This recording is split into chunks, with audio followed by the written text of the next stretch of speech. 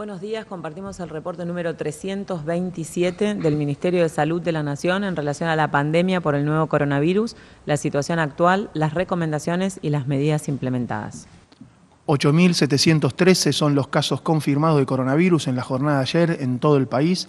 80,2% con residencia en el área metropolitana de Buenos Aires, 4% en Jujuy, 2,3% en Córdoba, 2,3% en Santa Fe y son dos las provincias que no han notificado casos. 350.867 son los casos confirmados en el transcurso de la pandemia en la República Argentina. La tasa de incidencia es de 773 casos cada 100.000 habitantes, la edad mediana permanece en 38 años y el 6,3% son trabajadores de la salud. 7.402 personas fallecidas por coronavirus, la tasa de letalidad total es del 2,1% en nuestro país y la tasa de mortalidad específica por coronavirus es de 162 personas por cada millón de habitantes. 72,4 años la edad mediana de fallecimiento. El 60,8% de los casos confirmados totales se han producido por transmisión comunitaria. Geográficamente la transmisión comunitaria la observamos en la Ciudad Autónoma de Buenos Aires, en la provincia de Buenos Aires, en su área metropolitana, en la provincia de Chaco, en las ciudades de Resistencia, Barranqueras, Fontana y Puerto Vilelas, en Neuquén, en su capital, Plotier, Centenario, Cutralcó y en Plaza Huíncul, en Río Negro, en General Roca, Chipoleti y Bariloche en la provincia de Mendoza, en su ciudad capital, y en los departamentos de Guaymallén, Godoy Cruz, Luján de Cuyo y Maipú. En Santa Fe, en Rosario, el Gran Rosario, Casilda, San Lorenzo y Venado Tuerto.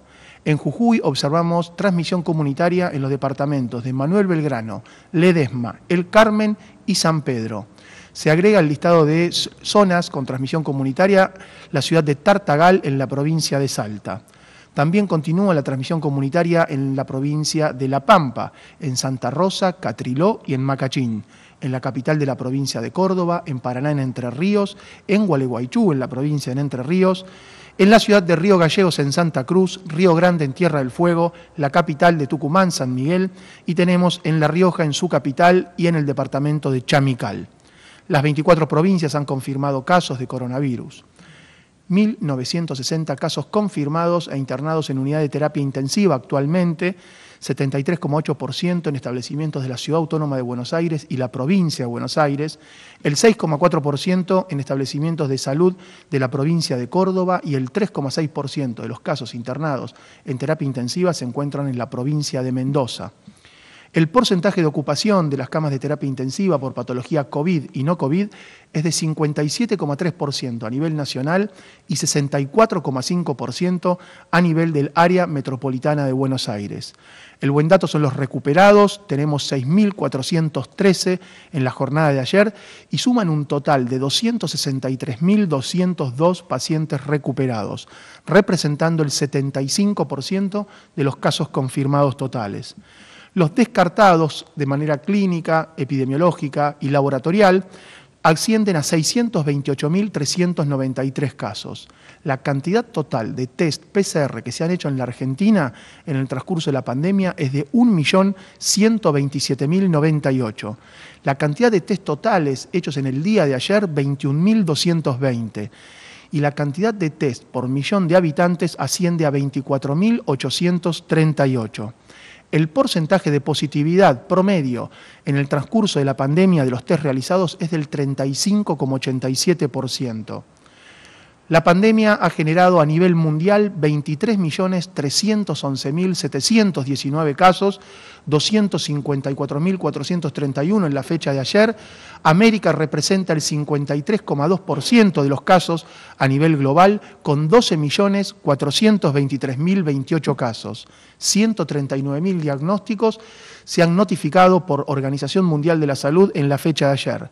Argentina, de los casos confirmados, actualmente en América representa el 2,7%, Brasil el 28,8% y Estados Unidos el 45,2%. La tasa de letalidad a nivel global sobre el total de casos confirmados asciende al 3,4% y a nivel americano al 3,5%. Recordamos que desde el Ministerio de Salud de la Nación, en base a la información recibida a través del Sistema Nacional de Vigilancia en Salud, informamos los casos según la fecha de notificación, pero realizamos un análisis basados en la fecha de ocurrencia. A partir de esto podemos informar que la fecha de inicio de síntomas con mayor cantidad de casos producidos fue el 3 de agosto con 7.992 casos y la fecha con mayor cantidad de personas fallecidas en el país fue el 2 de agosto con 144 personas fallecidas. A partir de esto, solicitamos a los trabajadores de salud notificar precozmente los casos ocurridos, los fallecimientos ocurridos en el país. Muchas gracias. En el día de ayer tuvimos 8.713 nuevos casos confirmados en el Sistema Nacional de Vigilancia en Salud eh, y cuando vemos ese promedio diario en los últimos siete días, ese número es de 6.628 Nuevamente, como las últimas semanas, el 80% corresponde al AMBA y hay un número de provincias importante que continúa aportando casos y hay departamentos que se suman a ese aporte de casos. Córdoba ha notificado 208 casos, Entre Ríos 124, la provincia de Jujuy en el día de ayer 352 casos. 172 casos Mendoza, 95 Salta, 209 Santa Fe. Solo dos provincias no han notificado casos y eh, tenemos 16 eh, áreas, digamos, 16 provincias con departamentos con transmisión comunitaria. No solo estamos aumentando las áreas que declaran transmisión comunitaria extendida, sino que eh, hace semanas no definimos que ningún área ha controlado esa transmisión comunitaria. Nosotros veníamos comentando áreas que ingresaban y áreas que eh, podían definir que habían controlado esa transmisión comunitaria. En las últimas semanas ningún departamento del país ha logrado controlar la transmisión comunitaria y se siguen sumando departamentos y hay departamentos que, aunque no tengan transmisión comunitaria extendida, sí están teniendo brotes y conglomerados que se están intentando eh, controlar, que si no se logran pasarán a transmisión comunitaria. Es eh, una situación que epidemiológica que está cambiando con esta estabilidad relativa y mirada eh, muy, muy de cerquita del AMBA, con una meseta alta que requiere que sigamos trabajando fuerte para controlar la transmisión a través de los protocolos y los cuidados personales, pero con un aumento sostenido de los casos en las jurisdicciones que se acompaña del aumento de la ocupación de las camas de terapia intensiva por personas confirmadas con coronavirus, con SARS-CoV-2, en eh, también las jurisdicciones del país, de las 1960, hay 127 eh, personas confirmadas con coronavirus eh, COVID-19 en Córdoba, 72 en Mendoza, 52 en Río Negro, 48 en Santa Fe, 35 en Neuquén, 32 en Jujuy, 26 en Entre Ríos, 26 en La Rioja, 21 en Salta, 19 en Tucumán, 11 en Tierra del Fuego, 11 en Santa Cruz y 10 en Chaco son las que superan las 10 personas, obviamente con una dispersión muy importante en relación al número de habitantes y, también en relación a la capacidad de los sistemas de salud que hay que analizar. En función de eso y en contacto en el día de ayer con eh, el equipo del ministro de Salud de Río Negro y el equipo de epidemiología, y del Ministerio. Eh, las situaciones que se están evidenciando de tensión son en, en el departamento de Roca, en la provincia de Jujuy, y también hemos tenido contacto con la provincia de La Rioja. El motivo por el cual el departamento de General Roca ha disminuido la circulación de personas es por esa tensión en el sistema de salud y la necesidad de generar acciones intensivas, transitorias, para disminuir la transmisión y poder darle eh, tiempo al sistema de salud para que se pueda, para que pueda seguir dando eh, respuesta. En relación al porcentaje de positividad, ese 35.87% promedio, ayer fue de 46%, 37.3% en Cava, 48.1% en provincia de Buenos Aires y 48.3% en el resto del país.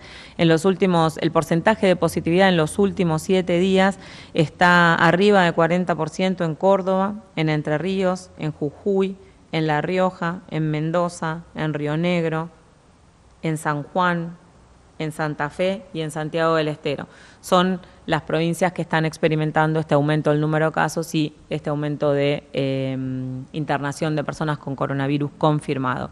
En ese sentido, volvemos a recordar conceptos claves que siempre eh, es importante volver a fortalecer la edad media de casos es en personas jóvenes, activas y aunque sean sanas, tienen posibilidades de tener complicaciones y eh, amenazar su vida el coronavirus y tampoco se sabe cuáles pueden ser las consecuencias a largo plazo del coronavirus porque es un virus nuevo que no se conoce.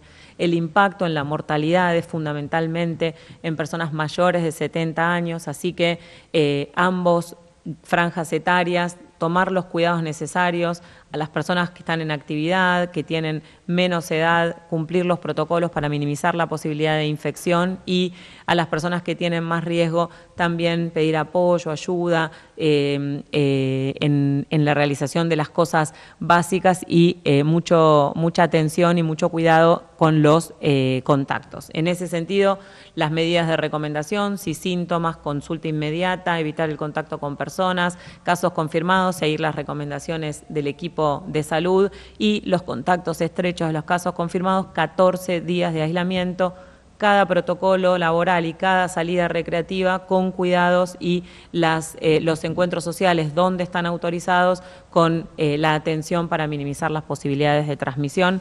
Estamos en un momento en el cual todo esto cobra cada vez más importancia. Tenemos hoy eh, en el reporte a la doctora Patricia García Arrigoni, que es la directora médica ejecutiva del Garrahan, que hoy cumple 33 años. Muchas gracias.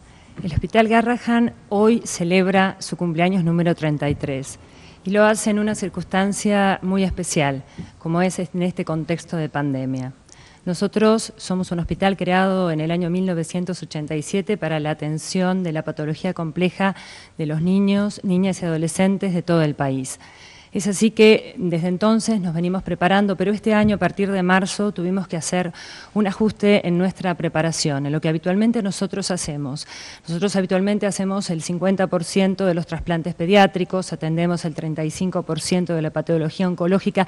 Este año hubo que hacer una preparación en varias líneas. La primera es seguir atendiendo a estos niños, niñas y adolescentes, porque por su patología ellos no pueden entrar en cuarentena, tienen que seguir siendo atendidos adecuadamente. En segundo lugar, conocíamos una enfermedad nueva que el mundo le está conociendo y teníamos que saber cómo este coronavirus iba a, iba a influenciar en nuestros pacientes. Y en tercer lugar, y no por esto menos importante, teníamos que prepararnos como equipo de salud para tener confianza y poder asistirlos, es decir, cuidar a los que cuidan. Es así que desde marzo comenzamos con la provisión de todos los elementos de protección personal, que en esto el Ministerio fue quien se encargó de darnos todos los elementos en cantidad y en calidad adecuadas, pero esto no era suficiente, había que capacitarse, había que saber usarlos, se hicieron numerosos cursos presenciales, virtuales, simulación para que el personal tuviera confianza, se generaron equipos de trabajo, porque ante la eventualidad de que alguno de los integrantes del grupo se enfermara, existía otro equipo que podía venir a reemplazarlo y así garantizar la continuidad de la atención canción. Se creó un comité de, atención del paciente y un otro comité que fundamentalmente para el cuidado del personal.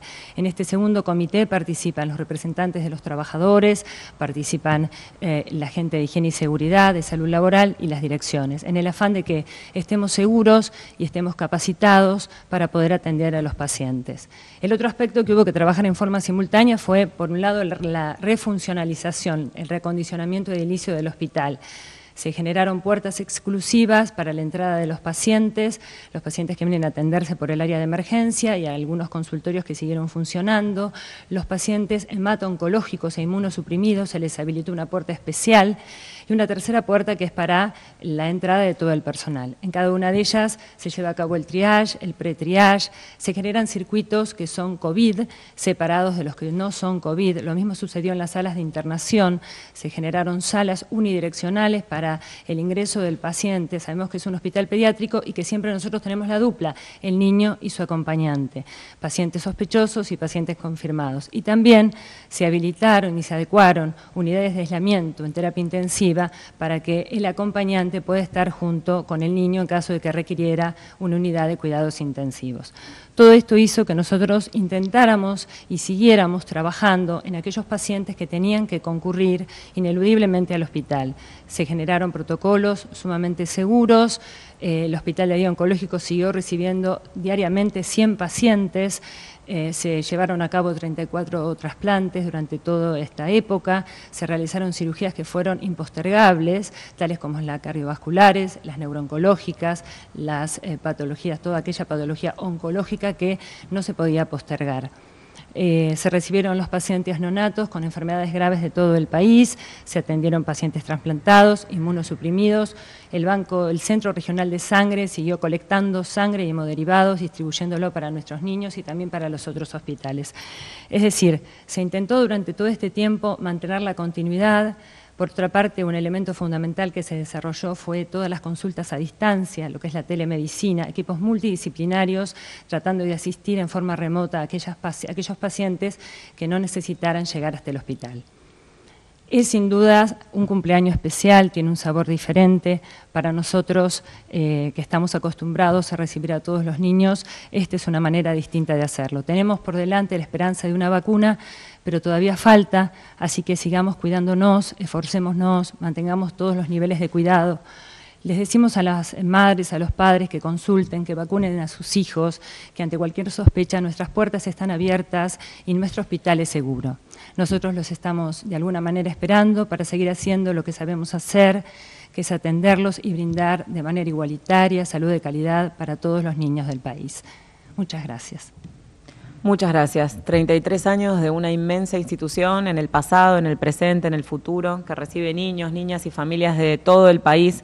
Y el Garrahan, como todo el sistema de salud, está trabajando, está eh, en funcionamiento con circuitos, con protocolos y esperando las consultas de las condiciones crónicas, esperando las, consultas para vacunación y por supuesto también preparados para recibir eh, situaciones y patologías agudas. Eh, esas son actividades esenciales, está autorizada la circulación y el sistema de salud está preparado para recibirlas. Muchas gracias.